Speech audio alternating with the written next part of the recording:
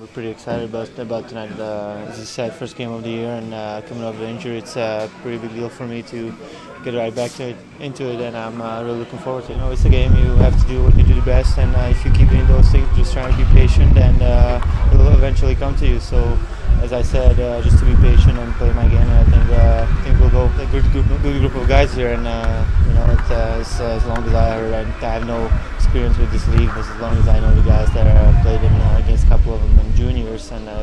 so uh, good. Last game, uh, I think it was uh, a good thing for us to to uh, to have a du- the W, and uh, I think we just need to bring more energy in our game and uh, work ethic. It's all about work ethic. I, I know everybody knows what to do in the system and everything, but it's all about energy. Practice this week have been great. Guys, guys knew.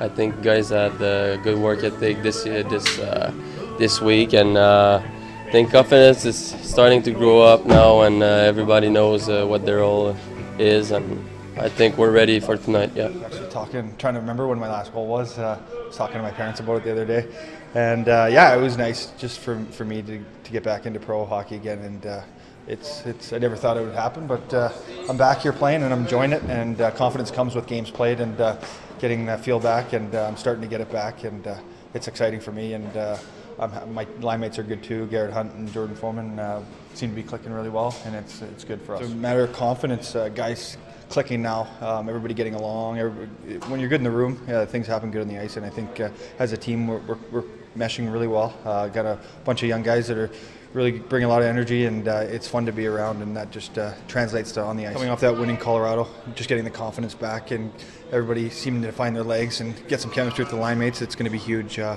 coming into Ontario today, and then having a home game tomorrow. Um, it'll be nice to come out of here with a win and uh, get in a good mood and get on the bus and get home for another win.